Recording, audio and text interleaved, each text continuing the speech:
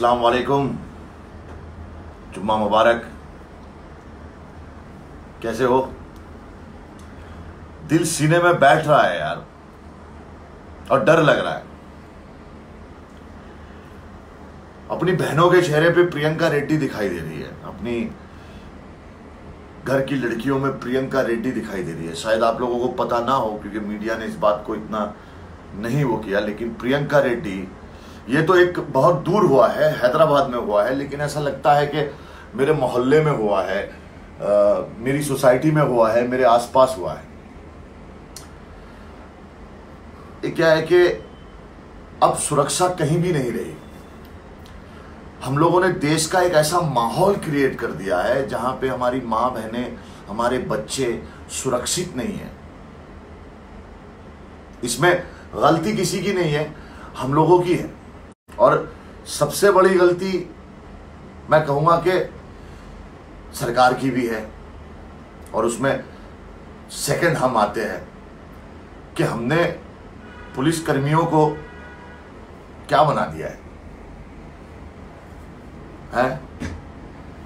Police वाले को सुई गिर जाए, अगर गली में ठेला लग जाए, मोहल्ले में ठेला लग जाए, बाज़ार में कोई ठेला लग जाए, उसकी खबर रहती है। लेकिन अपराधी की खबर नहीं होती। अपराध शुरू होता है हमारे सामने, अपराधी हमारे सामने से चल के चला जाता है, अपराध कर जाता है, रेप कर जाता है।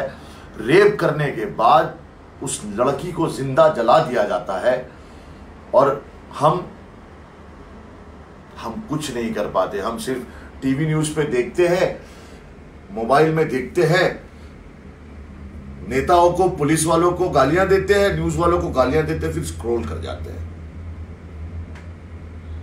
फिर निर्भया से आसिफा हो जाती है, आसिफा से प्रियंका रेड्डी हो जाती है।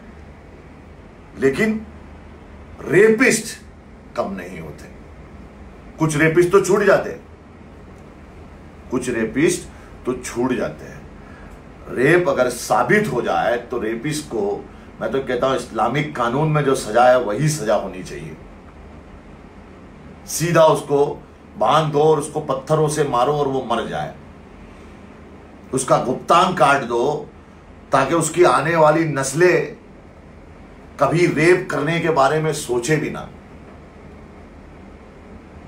मेरे प्यारों, मेरे यारों, आज ये प्रियंका रेड्डी के साथ हुआ है, तब वो निर्भया के साथ हुआ था, फिर वो आसिफा के साथ हुआ था।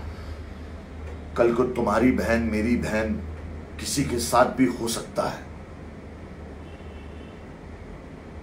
ये लेट हो रहा है और लेट होता जा रहा है और हम सिर्फ़ मोबाइल में देखते हैं देखते हैं और चुप हो जाते हैं। आप मेरा ये लाइव वीडियो देखोगे, कुछ लोग होंगे इसमें से जो शेयर करेंगे क्योंकि जिनको परवाह है कि वो शेयर मारेंगे इस वीडियो को ताकि ये आवाज़ दूर तक पहुँचे। कुछ लोग होंगे, सिर्फ़ देखेंगे लाइक मारेंगे और चले जाएँगे। कुछ होंगे जो कमेंट करेंगे। इस वीडियो को इतना शेयर मारो कि प्रियंका रेड्डी हमारी बहन को इंसाफ मिले और हर वो लड़की जिसका रेप होता है, हर सेकंड में, हर मिनट में उसको इंसाफ मिले। अभी मेरा मुँह मत देखिए, इसको शेयर मारिए ताकि मेरी आवाज़ दूर तक पहुँचे और आप भी इसके लिए आवाज़ बनिए।